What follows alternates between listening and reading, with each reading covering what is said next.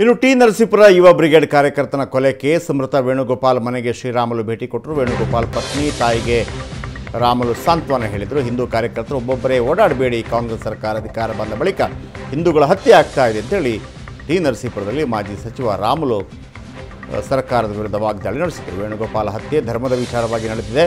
ಧರ್ಮ ಅಂತ ಬಂದಾಗ ನಾವೆಲ್ಲ ಒಂದೇ ಶ್ರೀರಾಮುಲು ಹೇಳ್ತಾರೆ. ಇನ್ನು ವೇಣುಗೋಪಾಲ್ ಫೋನ್ ಪರಿಶೀಲನೆ ಮಾಡಿದರೆ ಗೊತ್ತಾಗುತ್ತೆ ಅಂತೇಳಿ ಕೂಡ ಒಂದು ಸಲಹೆಯನ್ನು ಕೊಡ್ತಾರೆ ರಾಮನು ಸರ್ ಸ್ವಲ್ಪ ಸರ್.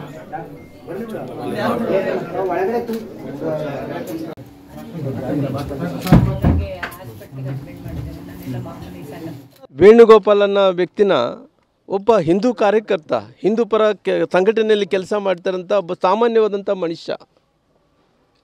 ಅಂದರೆ ಈ ಈ- ಈ ರೀತಿ ಹತ್ಯೆಗಳಿಂದ ಅವ್ರು ಏನು ಸಾಧಿಸೋಕ್ಕಾಗುತ್ತೆ? ಅವ್ರ ಕುಟುಂಬಕ್ಕೆ ಯಾರು ಜವಾಬ್ದಾರಿ?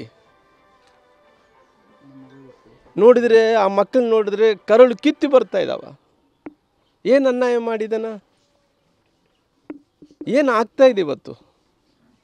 ಈ ರಾಜ್ಯದಲ್ಲಿ ಕಾನೂನು ಸುವ್ಯವಸ್ಥೆ ಸಂಪೂರ್ಣವಾಗಿ, ಗ ಹದಗೆಟ್ಟಿಗೆ ಹೋಗ್ಬಿಟ್ಟಿದೆ ನೋಡ್ರಿ ಒಂದು ಕಡೆ ವೇಣುಗೋಪಾಲ್ ಅವರು, ಪಾಪ ಎಲ್ಲರೂ ಕೂಡ, ಎಲ್ಲರೂ ಒಟ್ಟಾರೆ ಸೇರಿಕೊಂಡು ಹನುಮ ಜಯಂತಿ ಮೂರು ವರ್ಷಗಳ ಕಾಲ ಸತತವಾಗಿ ಮಾಡ್ಕೊಂಡು ಬಂದಾರ ಆ ಮಗು ಯಾರು? ಇವಾಗ ತಾಯಿ, ಅವ್ರ ಹೆಣ್ಮಕ್ಳು ಎಲ್ಲರಿಗೂ ಕಣ್ಣೀರು ಹಾಕ್ತಾ ಇದ್ದಾರೆ. ಕಣ್ಣೀರಲ್ಲಿ ಕೈ ತೊಳಿತಾ ಇದ್ದಾರೆ. ಏನು ಆಗ್ತಾ ಇದೆ ಈ ರಾಜ್ಯದಲ್ಲಿ? ಬಹುಶಃ ಮು ಗೃಹ ಮಂತ್ರಿಗಳು ಇದ್ದಾರಾ ಮುಖ್ಯಮಂತ್ರಿಗಳು ಇದ್ದಾರಾ ಮುಖ್ಯಮಂತ್ರಿ ಜಿಲ್ಲೆಗಳಲ್ಲೇ, ಮುಖ್ಯಮಂತ್ರಿಗಳು ತಾಲೂಕುಗಳಲ್ಲೇ, ಕ್ಷೇತ್ರದಲ್ಲಿ ಹಿಂಗೆ ಆಗ್ತಾ ಇದೆ ಅಂದ್ರೆ ಈಗ ಇಡೀ ರಾಜ್ಯದ ಪರಿಸ್ಥಿತಿಯನ್ನು ಇಡೀ ರಾಜ್ಯದಲ್ಲಿ ಇವತ್ತು ಎಲ್ಲ